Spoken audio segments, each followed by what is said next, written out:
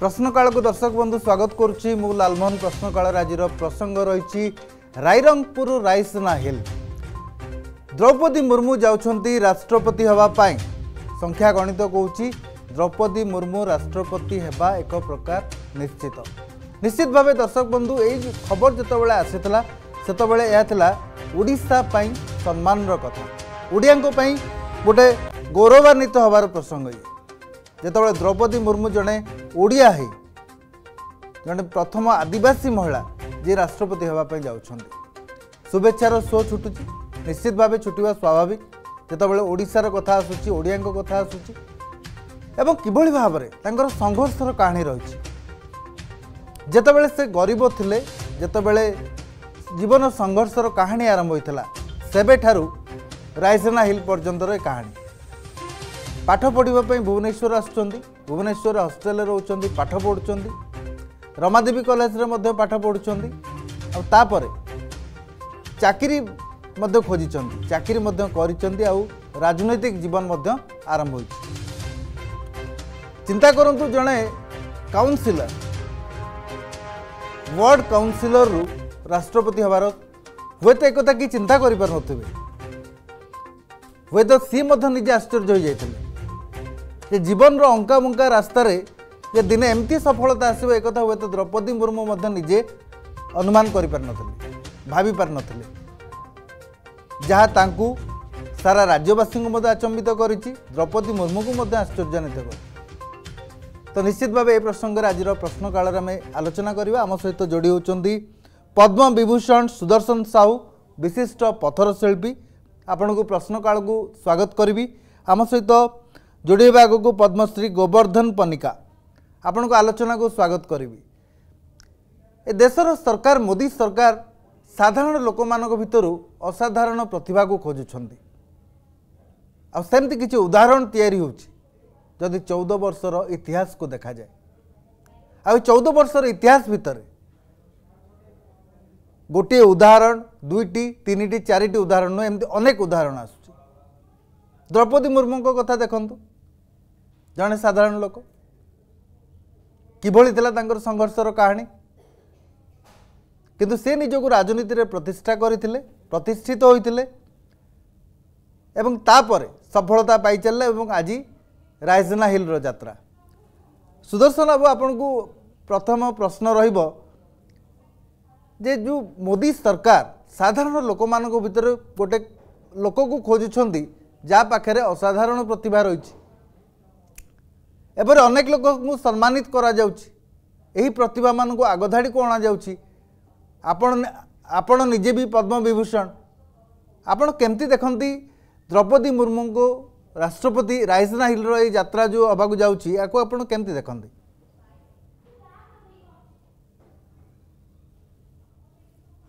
ଜୟ ଜଗନ୍ନାଥ। କରୁଣାମୟ। ଆପଣଙ୍କ ପାଖରେ ମୁଁ ପ୍ରଣାମ କରୁଛି। ଯେତେବେଳେ ମହାମାନ୍ୟା ଦ୍ରୌପଦୀ ମୁର୍ମୁଙ୍କର କଥା ଆସିଲା ମୁଁ ପତ୍ରପତ୍ରିକାରେ ଦେଖିଲି ମୁଁ ସେତେବେଳେ ଭାବବିହଳ ହୋଇଗଲି।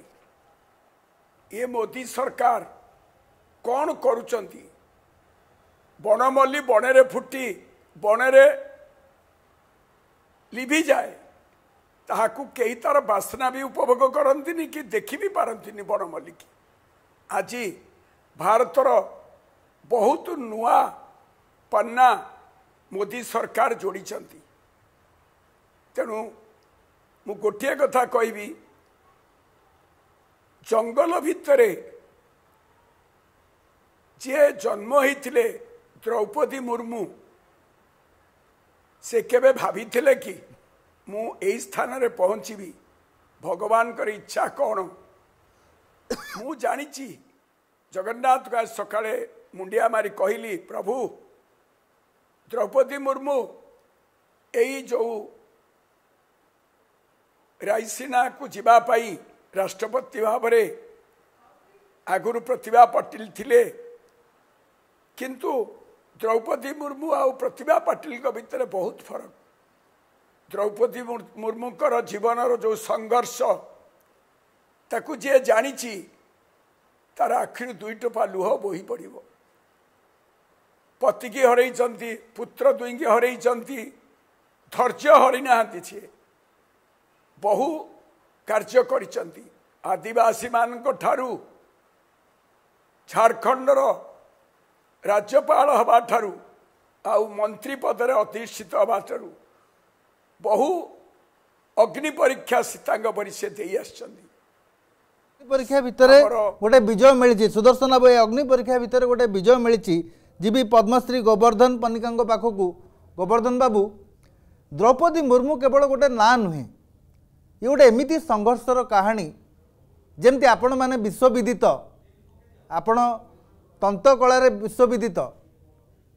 ସୁଦର୍ଶନ ବାବୁ ପଥର ଶିଳ୍ପରେ ଶିଳ୍ପୀ ଭାବରେ ନିହାଣ ମନରେ ନିଖୁଣ କାରୁକାର୍ଯ୍ୟ କରି ବିଶ୍ୱବିଦିତ ଓଡ଼ିଶା ଭାରତ ସମଗ୍ର ବିଶ୍ୱ ତାଙ୍କୁ ଆଜି ଜାଣିଛି। ତାଙ୍କ ପାଇଁ ଆଜି ଓଡ଼ିଶା ଆପଣମାନଙ୍କ ପାଇଁ ଓଡ଼ିଶା ଆଜି ବିଶ୍ୱରେ ପରିଚୟ ପାଇଛି ପରିଚିତ ହୋଇଛି।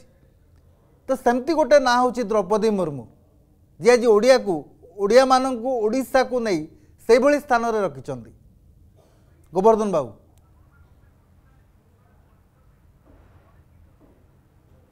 ଆଜ୍ଞା।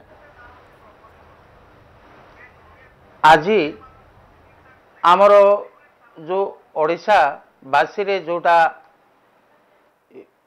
ଆମର ଦ୍ରୌପଦୀ ମୁର୍ମୁ ଆଦିବାସୀ ମହିଳା ରୂପରେ ରାଷ୍ଟ୍ରପତି ହେବାକୁ ଯାଉ ଯାଉଛନ୍ତି। ଆମ ଓଡ଼ିଶାବାସୀ ଶୁଣିକରି ବହୁତ ଖୁସି ହେଲୁ ଆଉ ଆମ ଓଡ଼ିଶାବାସୀ ବହୁତ ଆନନ୍ଦରେ ଆଜି ଗୋଟେ ରାଷ୍ଟ୍ରପତି ଭାବରେ ଛିଡ଼ା ହେଇଛନ୍ତି ବୋଲିକରି ଆମର ଗୋଟେ ଆଉ ବହୁତ ଆଶା ହେଲା। ଏଇଟା ଯୁଗେ ଯୁଗେ ଏଇ- ଏଇ ଏଇ ନାମ ଆଉ ତାଙ୍କେ ରଖି ରଖିଲେ ଆଉ ଆମକୁ ମଧ୍ୟ ବହୁତ ଏଇ ଆଦିବାସୀ ଅଞ୍ଚଳ ମାନଙ୍କୁ ତାଙ୍କେ ଦେଖିବେ ବୋଲିକରି ଆମର ଗୋଟେ ବହୁତ ଆଶା ଅଛି। ଆଉ ଯାହା କିଛି କରିବେ ଯେଉଁଟାକି ନରେନ୍ଦ୍ର ମୋଦି ଯାହା କିଛି ପ୍ରଧାନମନ୍ତ୍ରୀ କୋଣ କୋଣରେ ଦେଖିକରି ଯେଉଁ ଉଁ, ଲୋକମାନଙ୍କୁ ଦେଖିକରି ଯେଉଁ କ୍ରୀଡ଼ା କ୍ଷେତ୍ରରେ ଯାହା କିଛି ପଢ଼ାପଢ଼ିରେ ଯାହା କିଛି ତାଙ୍କେ ଦେଖୁଛନ୍ତି ଦା- ଆଉ ଦେଖିକରି ତାଙ୍କେ ଚୟନ କରୁଛନ୍ତି। ଆଉ ସେଇ ଲୋକ ଲୋକଙ୍କ ଭିତରେ ସେଇ ଲୋକମାନଙ୍କୁ ତାଙ୍କେ- ଗୋବର୍ଦ୍ଧନ ବାବୁ ସାଧାରଣ ଲୋକଙ୍କ ଭିତରେ ଅସାଧାରଣ ପ୍ରତିଭାକୁ ଚିହ୍ନିବା ସେମାନଙ୍କୁ ସାମ୍ନାକୁ ଆଣିବା ସେମାନଙ୍କୁ ଦେଶବାସୀଙ୍କ ସହିତ ପରିଚୟ କରାଇବା ଏଇ ଯେଉଁ ପଦକ୍ଷେପ। ବିଗତ ଚଉଦ ବର୍ଷର ଇତିହାସକୁ ଦେଖନ୍ତୁ ମୋଦି ସରକାର ସମୟରେ ଏସବୁ ଜିନିଷମାନ ହେଉଛି। ଯେଉଁମାନଙ୍କୁ ସାରା ଦୁନିଆ ଜାଣିଛି ଯେଉଁମାନଙ୍କୁ ସାରା ଦୁନିଆ ଜାଣିପାରୁନଥିଲା ଚିହ୍ନି ପାରୁନଥିଲା ସେମାନଙ୍କ ପରିଶ୍ରମର ମୂଲ୍ୟ ସେମାନଙ୍କୁ ମିଳୁନଥିଲା ସେମାନଙ୍କ ସଂଘର୍ଷର ସଫଳତା କଥା ଲୋକ ଜାଣୁନଥିଲେ। ଆଜି ସେସବୁ ଘଟୁଛି। ଆଉ ଦ୍ରୌପଦୀ ମୁର୍ମୁ ହେଉଛନ୍ତି ତାର ଏକ ଜ୍ୱଳନ୍ତ ଉଦାହରଣ।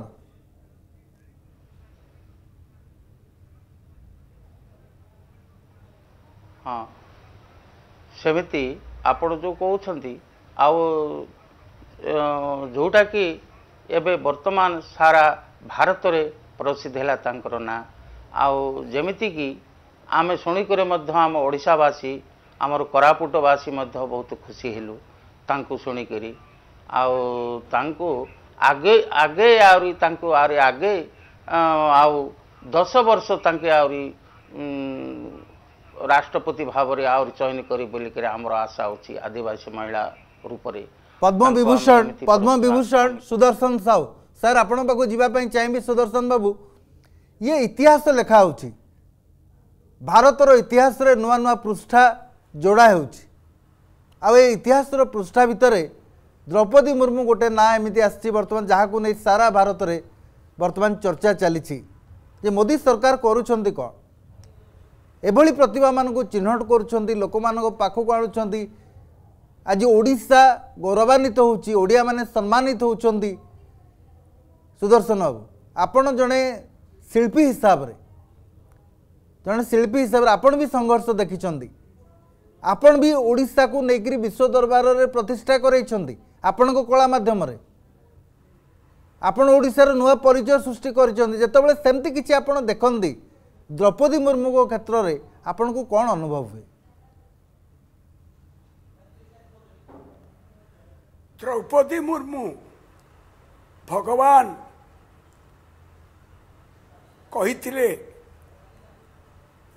ଭଗବତ ଗୀତାରେ ଯଜା ଯଜା ଇ ଧର୍ମସ୍ୟ ଗ୍ଲାନିର୍ଭବତୁ ଭାରତେ ଏ ଭାରତ ଗୋଟିଏ ମହାନ ଦେଶ ସେଇ ମହାନ ଦେଶରେ କେତେ ଗୁଡ଼ିଏ ପ୍ରଧାନମନ୍ତ୍ରୀ ହେଇଛନ୍ତି ଭାରତକୁ ସମୃଦ୍ଧ କରିଛନ୍ତି କିନ୍ତୁ ଆଜି ଯେଉଁ ନାଁଟି ଆପଣ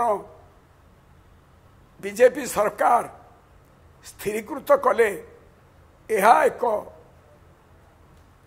ମାନେ ଆଶ୍ଚର୍ଯ୍ୟର ବିଷୟ। କେମିତି ମୋଦି ସରକାର ଜାଣୁଛନ୍ତି ଜଙ୍ଗଲ ଭିତରେ କେତେ ପ୍ରକାର ବୃକ୍ଷ ଲତା ପଶୁ ପକ୍ଷୀ ଜୀବଜନ୍ତୁ ଅଛନ୍ତି ତା ଭିତରେ ମନୁଷ୍ୟ ବି ଅଛି। କେଉଁ ମନୁଷ୍ୟଟି ଶ୍ରେଷ୍ଠ ତାକୁ ବିଚାର କରିବାର ଶକ୍ତି କେବଳ ମହାମାନ୍ୟ ପ୍ରିୟ ମୋଦି ଭାଇଙ୍କ ପାଖରେ ଅଛି ଏହା ଆଜି ତାକୁ ସେ ଭାରତବର୍ଷକୁ ଦେଖେଇ ଦେଲେ ନିଶ୍ଚିତ ଭାବେ। ତାଙ୍କ ଜୀବନ କାଳ ମଧ୍ୟରେ ସେ ଯେଉଁ କାର୍ଯ୍ୟଟି ଆଜି କରିଛନ୍ତି ଇଏ ସ୍ୱର୍ଣ୍ଣାକ୍ଷରରେ ଇତିହାସ ଲେଖା ହେଇକି ରହିବ ଯେ ଦ୍ରୌପଦୀ ମୁର୍ମୁଙ୍କ ଭଳି ଜଣେ ଆଦିବାସୀ ମହିଳା ତାଙ୍କ ସଂଘର୍ଷମୟ ଜୀବନରେ ଯାହା ସେ କରିଯାଇଛନ୍ତି ଏହି ଆସନଟିକି ଅଳଙ୍କୃତ କଲା ପରେ ଭାରତର ଗାରିମାକୁ ସାରା ପୃଥିବୀରେ ସେ ଉଚ୍ଚ ସ୍ଥାନରେ ରଖିବେ ଯେ ଭାରତବର୍ଷ ଇତିହାସ ଆଗକୁ ନିଶ୍ଚିତ ଭାବରେ କହିବ। ନିଶ୍ଚିତ ଭାବେ। ମୟୂରଭଞ୍ଜରୁ ଯୋଡ଼ି ହେଉଛନ୍ତି ମୁଁ ତାଙ୍କୁ ଆଜ୍ଞା ସୁଦର୍ଶନ ବାବୁ ଫେରି ଫେରିବେ ଆପଣଙ୍କ ପାଖକୁ ଆମ ସହିତ। ମୟୂରଭଞ୍ଜରୁ ଯୋଡ଼ି ହେଉଛନ୍ତି ଆମ ପ୍ରତିନିଧି ରଞ୍ଜନ ଦାସ। ରଞ୍ଜନ ଆପଣ ବର୍ତ୍ତମାନ ଦ୍ରୌପଦୀ ମୁର୍ମୁଙ୍କ ଘର ପାଖାପାଖି ଅଛନ୍ତି ଗାଁରେ ଅଛନ୍ତି। ତ ଆପଣ ସେଠାରେ କିଛି ଲୋକମାନଙ୍କ ସହିତ କଥା ହେଉଥିବେ ଏଇ ଯେଉଁ ରାଇରଙ୍ଗପୁର ରାଇସେନା ହିଲ୍ର ଯାତ୍ରା ଏଇ ଯାତ୍ରାକୁ କେମିତି ଦେଖୁଛନ୍ତି ଲୋକମାନେ ଯେତେବେଳେ ଓଡ଼ିଶାର ଲୋକମାନେ ଓଡ଼ିଶାର ଲୋକମାନେ ଗୌରବାନ୍ୱିତ ହେଉଛନ୍ତି ଓଡ଼ିଆମାନେ ସମ୍ମାନିତ ହେଉଛନ୍ତି ବିଶ୍ୱ ଦରବାରରେ ଓଡ଼ିଶାର ନାଁ ହେଉଛି ଭାରତରେ ଓଡ଼ିଶାର ନାଁ ହେଉଛି ଏଭଳି କିଛି ଅସାଧାରଣ ବ୍ୟକ୍ତିତ୍ୱ ସାଧାରଣ ଲୋକଙ୍କ ଭିତରେ ଥିଲେ ମଧ୍ୟ ସେମାନେ ସାମ୍ନାକୁ ଆସୁଛନ୍ତି। ରଞ୍ଜନ ନିଶ୍ଚିତ ପକ୍ଷେ ଦେଖନ୍ତୁ ଲାଲମୋହନ ଯେମିତିକି ଆପଣ କହୁଥିଲେ ଦର୍ଶକ ଯେ ବନ୍ଧୁ ଏ ମୟୂରଭଞ୍ଜ ଏ ଭଳିଆ ଦୃଶ୍ୟ ବର୍ତ୍ତମାନ ରଞ୍ଜନ ଟିକେ ରୋକିବା ପାଇଁ ଚାହିଁବି କିଛି ଭିଜୁଆଲ୍ସ ଆମେ ଆପଣଙ୍କୁ ଦେଖାଉଛୁ ଭୁବନେଶ୍ୱରରେ ଦ୍ରୌପଦୀ ମୁର୍ମୁ ଓଡ଼ିଶା ପାଇଁ ଗୌରବ ଆଣିଥିବା ଇଏ ହେଉଛନ୍ତି ସେହି ମହିଳା ସେହି ଆଦିବାସୀ ପ୍ରଥମ ଆଦିବାସୀ ମହିଳା ଯିଏ ରାଷ୍ଟ୍ରପତି ହେବାକୁ ଯାଉଛନ୍ତି ଆପଣ ଦେଖୁଛନ୍ତି ତାର ଲାଇଭ୍ ଭିଜୁଆଲ୍ସ দ্রৌপদী মুর্মু বর্তমান ভুবনেশ্বরে পৌঁছি সারিছেন স্বাগত সম্বর্ধনার চিত্র আপনার দেখুম দ্রৌপদী মুর্মুকে স্বাগত করা যাচ্ছে সম্বর্ধনা দিয়া যাচ্ছে দলীয় কর্মকর্তা মানে অনেক বিজেপির ভুবনেশ্বর সাংসদ অপরাজিতা ষড়ঙ্গী দেখা যাচ্ছেন এবং अन्य वरिष्ठ नेता मैंने सांगे अच्छा द्रौपदी मुर्मू को भुवनेश्वर में स्वागत कर ये लाइव भिजुआल रंजन रंजन भुवनेश्वर द्रौपदी मुर्मू पहुँची सारे तो से, से जो गाँव में आपस्थित अच्छा सेठार लोक मान बर्तमान प्रतिक्रिया कौन रोचे से द्रौपदी मुर्मू को एभली पद को जावाक किपर स्वागत कर मनरे बर्तमान कौन चलुची নিশ্চিত পক্ষে দেখুন লালমোহন যেমি কৌলে আপনার যেমি রয়েছে ময়ূরভঞ্জ এক ছোটিয়া জায়গা ময়ূরভঞ্জ জেলার যেমি রায়রঙ্গপুর অঞ্চলর জনে মহিলা আদিবাসী মহিলা যেমি কুহছে রায়রঙ্গপুর রাইসীমা হিল যেমি জাঁচান আপনার রাষ্ট্রপতি ভবন যেটা অনেক সেইটা মনোনীত করা যেভাবে তাঁর প্রার্থী চয়ন করা যাই বর্তমানে এনডিএ পক্ষর তাকে নিয়ে এ অঞ্চলের কহবাক গেলে গোটে প্রকার আনন্দর লহরী খেলছে আমি সিধাসলখ আলোচনা করা আমার সহ স্থানীয় বাসিন্দা অনেক আমি সিধাসলখ আলোচনা করা আজ্ঞা রায়রঙ্গপুর অঞ্চলের জন আদিবাসী মহিলা ରାଇରଙ୍ଗପୁରରୁ ଯାଉଛନ୍ତି ରାଇସୀମା ହିଲ୍ କିଭଳି ଭାବରେ ଦେଖୁଛନ୍ତି ରାଷ୍ଟ୍ରପତି ହେବେ ଆଉ ନିର୍ବାଚନ ଅଳ୍ପ ଦିନ ରହିଲା ନିର୍ବାଚନ ପରେ ହେବେ ଏବଂ ଯେମିତିକି ଜାଣିଛନ୍ତି ଆପଣ ରାଇରଙ୍ଗପୁର ସିଏ ଏବେ ଯାଇ ପହଞ୍ଚି ସାରିଲେଣି ଭୁବନେଶ୍ୱରରେ ପହଞ୍ଚି ସାରିଲେଣି ଭୁବନେଶ୍ୱରରେ ତାକୁ ସ୍ୱାଗତ ସମ୍ବର୍ଦ୍ଧନା କରାଣି ଭୁବନେଶ୍ୱରରୁ ସେ ଦିଲ୍ଲୀ ଅଭିମୁଖେ ଯିବେ ଏବଂ ସେଠାରେ ମ- ତାଙ୍କର ଯେଉଁ ପ୍ରାର୍ଥୀପତ୍ର ସିଏ ଯେଉଁ ସେଠି ନମିନେସନ୍ କରିବେ ଏସବୁ ବିଷୟ ରହିଛି ପ୍ରକ୍ରିୟା ରହିଛି ତେବେ କିଭଳି ଭାବରେ ଦେଖୁଛନ୍ତି ଆପଣଙ୍କୁ କେତେ ଆନନ୍ଦ ଲାଗୁଛି କହିବେ ଦେଖନ୍ତୁ ଆଜି ଜଣେ ମୟୂରଭଞ୍ଜିଆ ହିସାବରେ ପ୍ରଥମେ ଆମେ ଏତେ ନିଜକୁ ଧନ୍ୟ ମନେ କରୁଛେ ଏତେ ଗୌରବ ଅନୁଭବ ହେଉଛି ତାହା ଭାଷାରେ ପ୍ରକାଶ କରିହେବ ନାହିଁ। ଏ ମାଟି ହେଉଛି କଳା ସଂସ୍କୃତିର ମାଟି ମା କିଚକେଶ୍ୱରୀଙ୍କ ମାଟି। ଏ ମାଟି ସବୁବେଳେ ଆମର ଦେଶରେ କଣ- କୌଣସି ନା କୌଣସି କ୍ଷେତ୍ରରେ କିଛି ନା କିଛି ଯେ ଅବଦାନ ରହିଛି। ଆଜି ସେମିତି ଆମର ରାଇରଙ୍ଗ ରାଇରଙ୍ଗପୁର ଅଞ୍ଚଳରୁ ଆମର ମୟୂରଭଞ୍ଜ ଜିଲ୍ଲାରୁ ଜଣେ ଆଦିବାସୀ ଜଣେ ଶିକ୍ଷିତ ମହିଳାଙ୍କୁ ଆମ ଦେଶର ପ୍ରଥମ ନାଗରିକ ହିସାବରେ ଅ, ହେବାକୁ ଯାଉଛନ୍ ପ୍ରଥମ ନାଗରିକ ହେବାକୁ ଯାଉଛନ୍ ସେଥିପାଇଁ ତ ଆମେ ବହୁତ ନିଜକୁ ଗର୍ବ ଅନୁଭବ କରୁଛେ। ତାଙ୍କୁ ଦ୍ରୌପଦୀ ଶ୍ରୀମତୀ ଦ୍ରୌପଦୀ ମୁର୍ମୁ ମହୋଦୟାଙ୍କୁ ଆମେ ଅଭିନନ୍ଦନ ବି ଜଣାଉଛେ। ପ୍ର- ସେ ରାଇରଙ୍ଗପୁର ଏକ ଉଣେଇଶହ ଅଠାନବେ ମସିହା ଜୁନ୍ କୋଡ଼ିଏ ତାରିଖରେ ଅ, ଅଠାବନ ମସିହା ଜୁନ୍ କୋଡ଼ିଏ ତାରିଖରେ ଏକ ଗରିବ ମଧ୍ୟବିତ୍ତ ପରିବାରରେ ଜନ୍ମଗ୍ରହଣ କରିଥିଲେ। ଏହାପରେ ରମାଦେବୀରେ ସ୍ନାତକ ହାସଲ କଲେ। ତାପରେ ଓଡ଼ିଶା ସରକାର ଜଳ ସମ୍ପଦ ବିଭାଗରେ ସରକାରୀ ଚାକିରିରେ ଯୋଗଦାନ ମଧ୍ୟ ଦେଇଥିଲେ। ତାପରେ ସେଠୁ କିଛି ଦିନ ପରେ ଆସିକି ବିନା ବେତନରେ କିଛି ପିଲାଙ୍କୁ ଶିକ୍ଷା ମଧ୍ୟ ଯୋଗାଇଥିଲେ। ଶିକ୍ଷା କ୍ଷେତ୍ରରେ ତାଙ୍କର ବହୁତ ପିଲାଙ୍କର ପ୍ରତି ଗରିବ ଆଦିବାସୀମାନଙ୍କ ପ୍ରତି ତାଙ୍କର ବହୁତ ଦରଦ ଥିଲା। ସବୁବେଳେ ସେ ଆଦିବାସୀମାନଙ୍କର ଉନ୍ନତି ସବୁବେଳେ ଉନ୍ନ- ଆଦିବାସୀମାନଙ୍କ କିପରି ଆଗକୁ ଆଗେଇବେ ସେ ପାଇଁ ସେ ସବୁବେଳେ ଚେଷ୍ଟିତ ଥିଲେ। ସେହି ହିସାବରେ ଉଣେଇଶହ ସତାନବେ ମସିହାରେ ପ୍ରଥମ ଥର ପାଇଁ ରାଇରଙ୍ଗପୁର ଏନ୍ଏସିରୁ ସେ କାଉନସିଲର ପ୍ରାର୍ଥୀ ଭାବେ ପ୍ରତିଦ୍ୱନ୍ଦିତା କରିଲେ। ବିଜୟ ଲାଭ କଲେ ତା ସହିତ ଏନ୍ଏସିର ଭାଇସ୍ ଚେୟାରମ୍ୟାନ୍ ମଧ୍ୟ ହେଲେ ସେଠୁ ତାଙ୍କର ରାଜନୈତିକ ଜୀବନ ଆରମ୍ଭ ହେଲା ଏହାପରେ ସେ ଦୁଇ ହଜାର ଏବଂ ଦୁଇ ହଜାର ଚାରି ମସିହାରେ ରାଇରଙ୍ଗପୁର ବିଧାୟକ ଠିକ୍ ଅଛି ଠିକ୍ ଅଛି ରଞ୍ଜନ। ଆମେ ଡିଟେଲ ଏ ଜିନିଷ ଗୁଡ଼ାକ ଆମେ କହିସାରିଛେ। ଗୋଟେ କଥା ବୁଝିବାର ଥିଲା କେବଳ ଯେ ଜଣେ ଓଡ଼ିଆ ଓଡ଼ିଶା ଯେତେବେଳେ ସମ୍ମାନିତ ହେଉଛି ଏବଂ ଓଡ଼ିଆଙ୍କ ପାଇଁ ଯେତେବେଳେ ଗୌରବର କଥା ଆସୁଛି ସେତେବେଳେ ଲୋକମାନଙ୍କ ଭିତରେ କିଭଳି ଭାବନା ରହୁଛି ମୁଁ ସିଧା ଯିବି ବର୍ତ୍ତମାନ ପଦ୍ମବିଭୂଷଣ ସୁଦର୍ଶନ ସାହୁଙ୍କ ପାଖକୁ। ସାର୍ ବର୍ତ୍ତମାନ ଆ, ଦ୍ରୌପଦୀ ମୁର୍ମୁ ଭୁବନେଶ୍ୱରରେ ପହଞ୍ଚି ସାରିଲେଣି ସ୍ୱାଗତ ସମ୍ବର୍ଦ୍ଧନା ଦିଆଯାଉଛି ଏବଂ ଆଜି ସକାଳେ କିଛି ଭିଜୁଆଲ୍ସ ଆମେ ଦେଖୁଥିଲୁ। ଯେତେବେଳେ ଦ୍ରୌପଦୀ ମୁର୍ମୁ ସକାଳୁ ଉଠି ମନ୍ଦିର ଝାଡ଼ୁ ମାରିଛନ୍ତି ପୂଜା କରିଛନ୍ତି ଜଣେ ଏତେ ବଡ଼ ପଦବୀକୁ ଯେତେବେଳେ ଯିବା ପାଇଁ ଚା- ଜାଣୁଛି ଯେ ଏତେ ବଡ଼ ପଦବୀକୁ ଯାଉଛି ତଥାପି ସେ ମୁଣ୍ଡ ନୁଆଇଁ ଅଛନ୍ତି ଏବଂ ତାଙ୍କର ନୈତିକ କର୍ମ ଯାହା ରହିଛି ସେ ତାକୁ କରୁଛନ୍ତି। ସୁଦର୍ଶନ ବାବୁ ଆପଣ ଏ- କେମିତି ଦେଖନ୍ତି ଏହାକୁ? ଭାରତର ସଂସ୍କୃତି ହେଉଛି ଆଜ୍ଞା ନମ୍ରତା। ଯାହା ପାଖରେ ନମ୍ରତା ଅଛି ଭଗବାନ ତା ପାଖରେ ସବୁବେଳେ ଅଛନ୍ତି।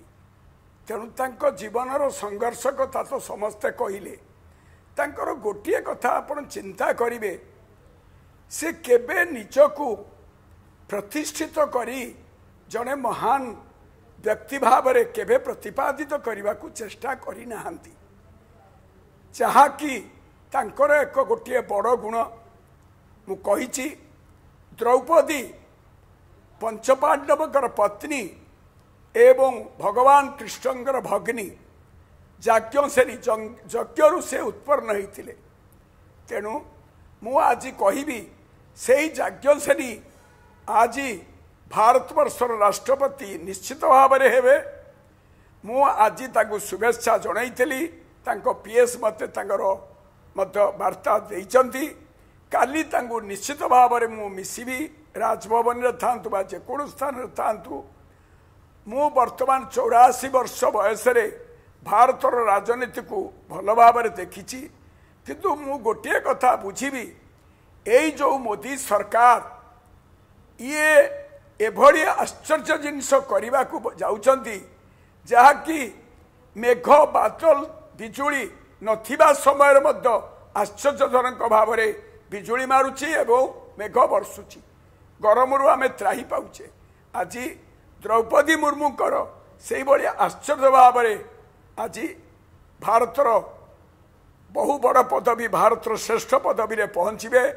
ଆମର ଦେଶର ଗାରିମାକୁ ସେ ବହୁତ ଉଚ୍ଚା ସ୍ଥାନକୁ ଆହୁରି ନେବେ ଏବଂ ଭାରତର ସଂସ୍କୃତି ପରମ୍ପରା ଏବଂ କଳା ଭାସ୍କର୍ଯ୍ୟ ଏବଂ ବେଦ ଉପନିଷେଦକୁ ବଞ୍ଚେଇବା ପାଇଁ ଆପ୍ରାଣ ଚେଷ୍ଟା କରିବେ ଆମମାନେ ଭାରତୀୟ ସଂସ୍କୃତିକୁ ସବୁବେଳେ ଗୁରୁତ୍ୱ ଦେଇଛେ ମୋଦି ସରକାର ବି ଦେଇ ଆସୁଛନ୍ତି କିନ୍ତୁ ଆମର ପ୍ରିୟ ମୁଖ୍ୟମନ୍ତ୍ରୀ ମଧ୍ୟ ଇଟାଲୀରେ ଥାଇ ଦ୍ରୌପଦୀ ମୁର୍ମୁଙ୍କୁ ସମ୍ବର୍ଦ୍ଧିତ ଦେଇଛନ୍ତି ଜଣେ ଓଡ଼ିଆ ହିସାବରେ ଜଣେ ଓଡ଼ିଆ ହିସାବରେ ଏବଂ ଓଡ଼ିଶାର ବାସିନ୍ଦା ହିସାବରେ ଜଣେ ଓଡ଼ିଆ ହିସାବରେ ଜଣେ ଓଡ଼ିଶାର ଜଣେ ବାସିନ୍ଦା ହିସାବରେ ଆପଣ କେମିତି ଦେଖନ୍ତି ଯେ କେଉଁ ବାର୍ତ୍ତା ଗଲା ଓଡ଼ିଆଙ୍କ ପାଖକୁ କେଉଁ ବାର୍ତ୍ତା ଗଲା ଓଡ଼ିଶା ପାଖକୁ ଓଡ଼ିଶାବାସୀଙ୍କ ପାଖକୁ ଯେତେବେଳେ ମୋଦି ସରକାର ଏଭଳି ଜଣେ ପ୍ରତିଭାକୁ ଚୟନ କରୁଛନ୍ତି ସାମ୍ନାକୁ ଆଣୁଛନ୍ତି ସାରା ଦେଶକୁ ଜଣାଉଛନ୍ତି ସାରା ଓଡ଼ିଶାବାସୀଙ୍କୁ ଜଣାଉଛନ୍ତି ଯେ ଯେଉଁମାନଙ୍କ ପାଖରେ ଅସାଧାରଣ ପ୍ରତିଭା ରହିଛି ଯେଉଁମାନେ ଅସାଧାରଣ ବ୍ୟକ୍ତିତ୍ୱ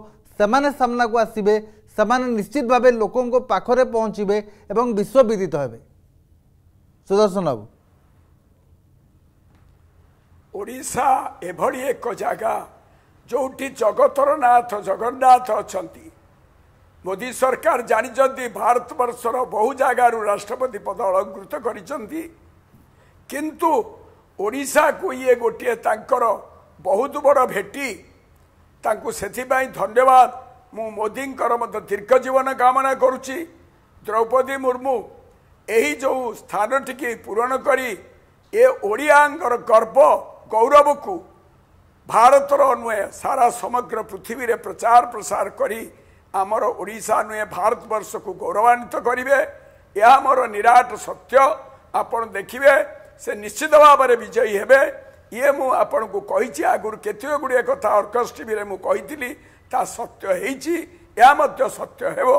କାରଣ ଓଡ଼ିଶାର ସମସ୍ତ ଚାରି କୋଟି ତିରିଶ ଲକ୍ଷ ଲୋକଙ୍କର ସବୁବେଳେ ହସି ହସିକିରି ଆଜି ଦିନରେ ବାଣ ଫୁଟେଇଛନ୍ତି ମିଠା ବାଣ୍ଟିଛନ୍ତି ଏବଂ ନିଜକୁ କୋଳାକୋଳି କରିଛନ୍ତି।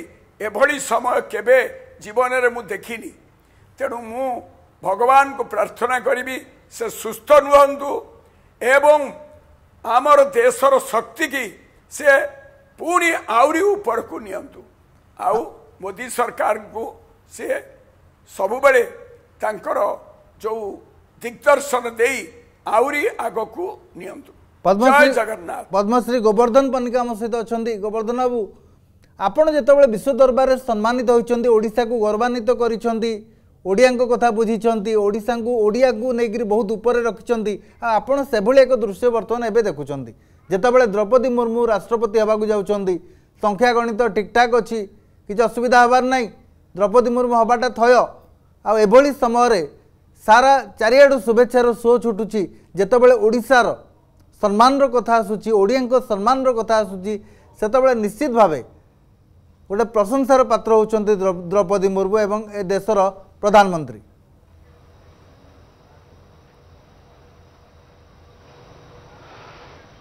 ଆଜିକି ଆଜି ପ୍ରଧାନମନ୍ତ୍ରୀ ଆଉ ମୁଁ କେବେ ଦେଖିନଥିଲି ଏମିତି ପ୍ରଧାନମନ୍ତ୍ରୀ ଏମିତି କାର୍ଯ୍ୟକଳାପ କରିବେ ବୋଲିକିରି।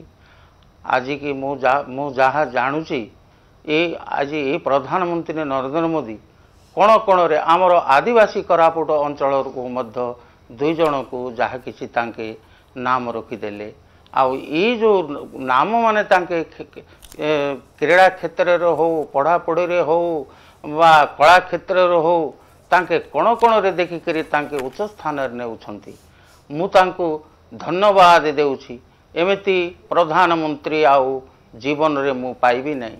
ଏମିତି ଯାହା ପ୍ରଧାନମନ୍ତ୍ରୀ କାମ କରି ଯାଉଛନ୍ତି ତାଙ୍କର ପରି ଯାହା କିଛି ତାଙ୍କର ଜୟ ହଉ ତାଙ୍କୁ ଆଉ ଉଚ୍ଚ ସ୍ଥାନରେ ତାଙ୍କୁ ଆହୁରି ପଦ ତାଙ୍କୁ ଦିଆଯାଉ। ଆଉ ଯାହା କିଛି ଆମର ଓଡ଼ିଶା ଭିତରୁ ଆଜିକି ଦ୍ରୌପଦୀ ମୁର୍ମୁ ଯାହା କିଛି ଆମର ଓଡ଼ିଶାର ଲହରୀ ଖେଳି ଖେଳି ଯାଇଛି ଆମର ଓଡ଼ିଶା ଭିତରୁ ଆଜି ଗୋଟିଏ ପ୍ରଥମ ରାଷ୍ଟ୍ରପତି ହେବାକୁ ଯାଉ ଯାଉଛନ୍ତି ତାଙ୍କୁ ମଧ୍ୟ ମୁଁ ପ୍ରଶଂସା କରୁଛି ଆଉ ଆଶୀର୍ବାଦ ଦେଉଛି ତାଙ୍କୁ ମଧ୍ୟ ଆଉ ଆମର ଯାହା କିଛି ଆଦିବାସୀ ଅ, ର ଦୁଃଖ ଯାହା ମେଣ୍ଟନ କରିବେ ଯାହା ଆଦିବାସୀର ଯାହା କିଛି ତାଙ୍କେ ସଫଳତା କରିପାରିବେ ବୋଲିକରି ମୋର ଆଶା ଅଛି ତାଙ୍କେ କରିପାରିବେ ବୋଲିକରି ମୋର ଆଶା ଅଛି ଏସବୁ କାର୍ଯ୍ୟ କାର୍ଯ୍ୟ କରିବା ଲାଗି ଆମର ପ୍ରଧାନମନ୍ତ୍ରୀ ଯାହା କିଛି ପଦକ୍ଷେପ ନେଇଛନ୍ତି ଯାହା କିଛି ପଦ ଅ, ରେ ତାଙ୍କର ବହୁତ ଜାଗାରେ ତାଙ୍କୁ ମୁଁ ଦେଖୁଛି ଟିଭିରେ ଦେଖୁଛି ଅନ୍ୟ ଜାଗାରେ ଦେଖୁଛି ପଢ଼ାପଢ଼ିରେ ଦେ- ଦେଖୁଛି ଉମ୍, ମୋ ଇଏ ଅନେକ ନ୍ୟୁଜ୍ରେ ଦେଖୁଛି ତାଙ୍କୁ ବହୁତ ପ୍ରଶଂସା ବାହାରେ ଦେଶ ମଧ୍ୟ ପ୍ରଶଂସା କରୁଛନ୍ତି। ବହୁତ ବହୁତ ତାଙ୍କର ଧନ୍ୟବାଦ। ପରି ପ୍ରଧାନମନ୍ତ୍ରୀ ବହୁତ ବହୁତ ଧନ୍ୟବାଦ। ପଦ୍ମଶ୍ରୀ ଗୋବର୍ଦ୍ଧନ ପନିକା ପଦ୍ମ ବିଭୂଷଣ ସୁଦର୍ଶନ ସାହୁ ରଞ୍ଜନ ଆପଣମାନଙ୍କୁ ବହୁତ ବହୁତ ଧନ୍ୟବାଦ ଆଲୋଚନାରେ ଭାଗ ନେଇଥିବାରୁ। ଦର୍ଶକ ବନ୍ଧୁ ଆଜି ସମୟ ହୋଇଯାଇଛି ପ୍ରଶ୍ନକାଳକୁ ଏଇଠି ଶେଷ କରିବା। ବିଦାୟ ଦିନ